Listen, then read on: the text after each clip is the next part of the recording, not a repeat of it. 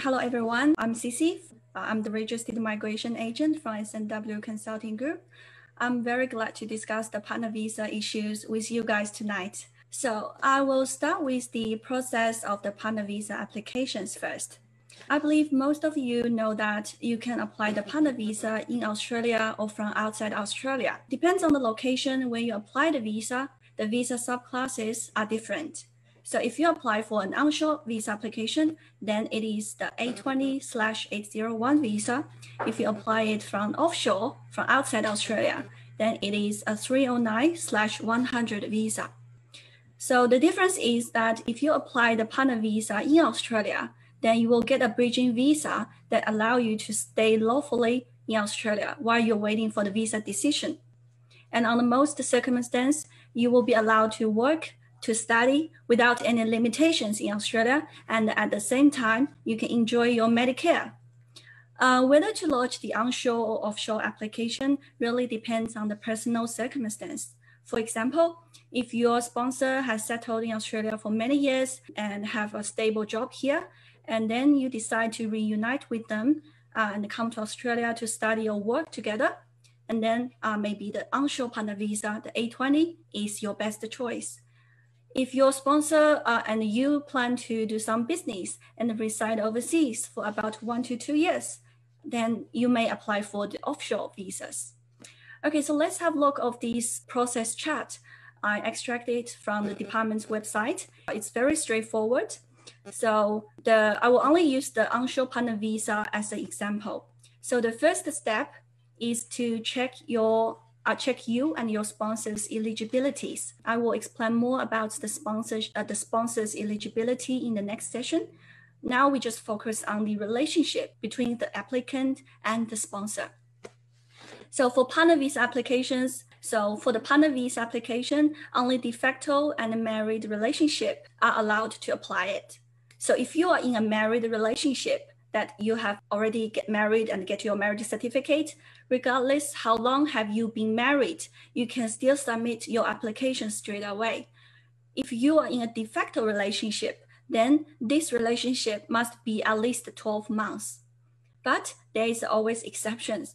So for example, you have uh, not married yet, but you have been in a de facto relationship for about five months, and your visa is going to expire in about three months you can still apply for the partner visa if you registered your de facto relationship with the relevant state authorities. So in Victoria, you can apply for a domestic relationship certificate from Birth, Death and Marriage Victoria, that is BDM. In New South Wales, you can register your de facto relationship on the New South Wales Relationship Register. So you can always check on their website for the detailed processing criteria. To summarize, if you registered your de facto relationship before applying for the partner visa, you don't need to worry about the 12 months requirement. Okay, so let's move to the step two. Now you can gather your documents and then apply for the partner visa online by ImmiAccount. Here, please be noted that the partner visa is a two-step visa process. So 820 and 309 are the first step, which are the temporary visa while 801 and 100 are the second step, which are the permanent residence visas.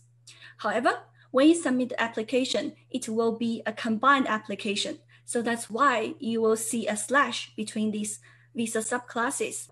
Uh, the good thing is you don't need to pay for the visa application charge twice. You only need to pay for it once at the time when you apply for the temporary visas. So currently, the visa application charge is around $7,800 and it may become more expensive in the future. Okay, so the next question will be, when can I apply for my permanent visas? Uh, well, so after you apply the, after you submit your stage one visa for two years, you will be eligible to apply for the permanent visa. So for example, I applied my 820 visa on 1st of October 2020 and I will be eligible to apply for my PR, that is 801 visa, on 1st of October 2022. So that's why, under most circumstances, applicant needs to wait for at least two years to get their PR. However, there are ways to skip the stage one, and you don't need to wait for the 24 months, and get, you can get your permanent visa straight away And I will explain this in the later session. So let's have a look of the processing time. So this is the screenshot from the department's website. And you can always check the processing time by yourself on the website. So it will be updated frequently.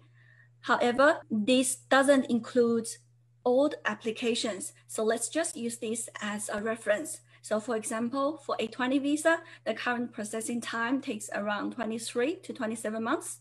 And for 801 visa, it takes around 11 to 22 months. But I need to remind everyone that please don't compare with other applicants. So because all applications are assessed on a case by case basis, there are no two identical applications and the case officer may be different as well. So I always get the question from my clients like, Cissy, my friend has received her PR in just a few months, but I'm still waiting for my TR and I have been waiting for it for about for more than one year. Is this normal? Well, so if you have prepared your application and your documents in line with the department's requirement, and it is still within the general processing time frame, which it can which can be shown here on the screen, then you just relax and don't need to worry too much about it. Okay, so the next important thing is the location when a visa is granted. I have already summarized the location here for your reference.